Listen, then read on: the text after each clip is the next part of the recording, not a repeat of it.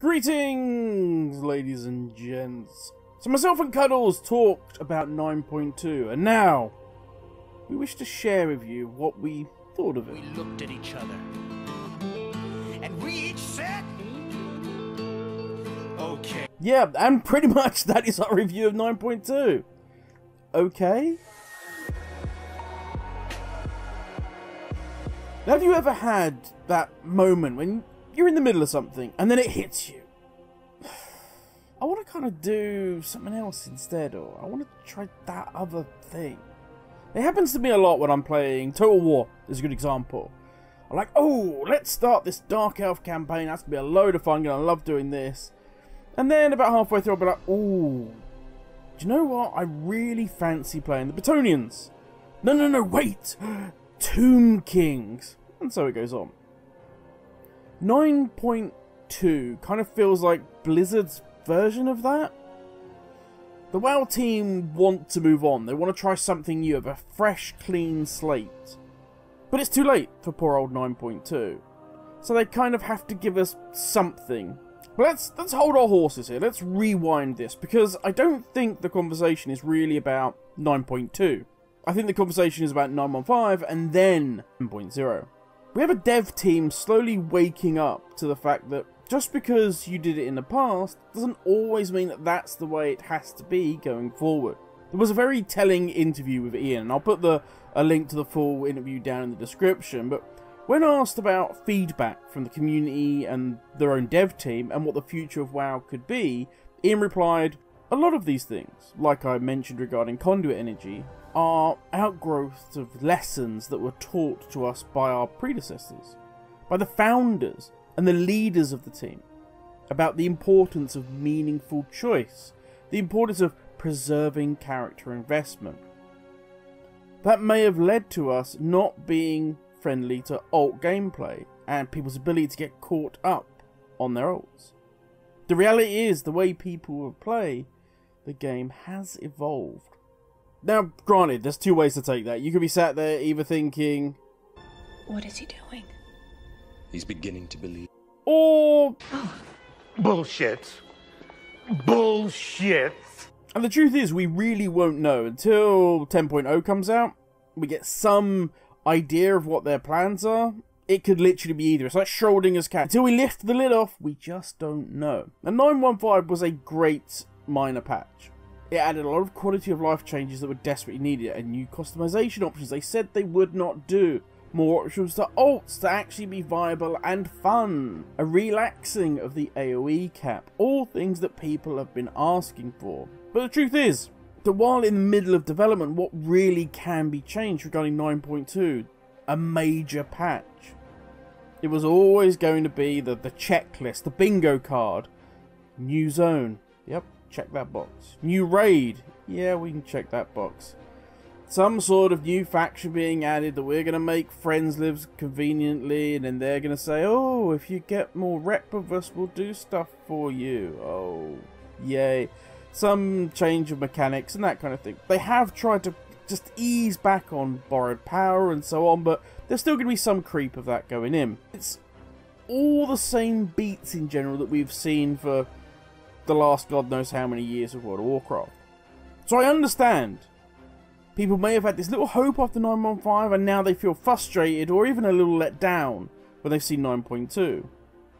They had all this hope, all this promise of a new direction, of a new way of doing things that we'd seen with 915, and then we have all these interviews, and then 92 just kind of feels a little flat. Feels like something from a different era now, almost, of WoW. And I will say, I'm kind of okay with that because I understand that, as I said before, you can't really change 9.2, it's already in the works. And my hope is, and this is a hope, this is completely rose tinted glasses, this is fan mode, and I get that. I'm kind of hoping that if this new zone is so paint by numbers, it's half, what, Vol'dun, and the other half looks like Nagrand? You know, they said in the, in the, in the developers thing, there's even floating trees and rocks. That's crazy! uh, devs, you may want to visit Outland, you know, a little more often. There's loads of floating trees and rocks. It's not a big thing.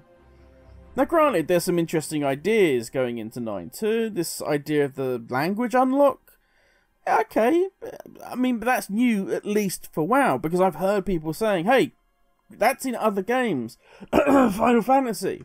But to be fair, if Hollywood has taught us anything, it's that there really are no new ideas. Oh, snap! At least Blizzard are copying something that sounds interesting. But as I say, if they're doing a paint by numbers 9.2, I'm hoping that means that the majority of the development team, a development team they are growing, by the way, are going absolutely ham on 10.0. Then fine. If you can do that, then give me the paint by numbers, give me generic WoW 9.2. Jesus, uh, we've survived the lag of Vale and Uldum and the madness of corruption. We can survive this. But the well of good faith is, like, bone dry. 915 was a step forward, and we salute Blizzard for that.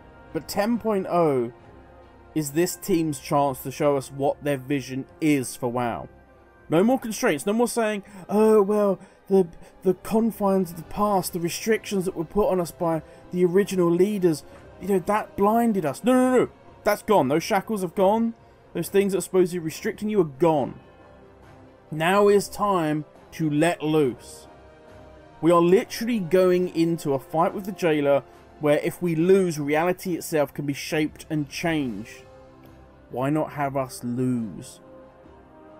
Why not have that Thanos moment where you click the fingers and Azeroth is changed? Our friends back home are changed.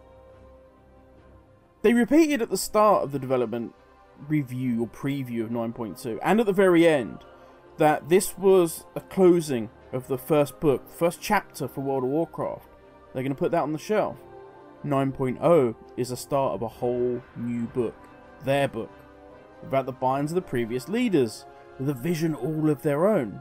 Big words! You know, no pressure, guys, but we just want, as players, something that feels like the game we have loved for 17 years now, and we want something new and different on a scale never seen before. Hmm. Yeah, good luck with that one. Oh, and if I could just add, can we get player housing? If we can't get player housing, can we get guild housing? That would be awesome. I hope, I hope they do embrace this freedom. They don't see it as a pressure, as a burden.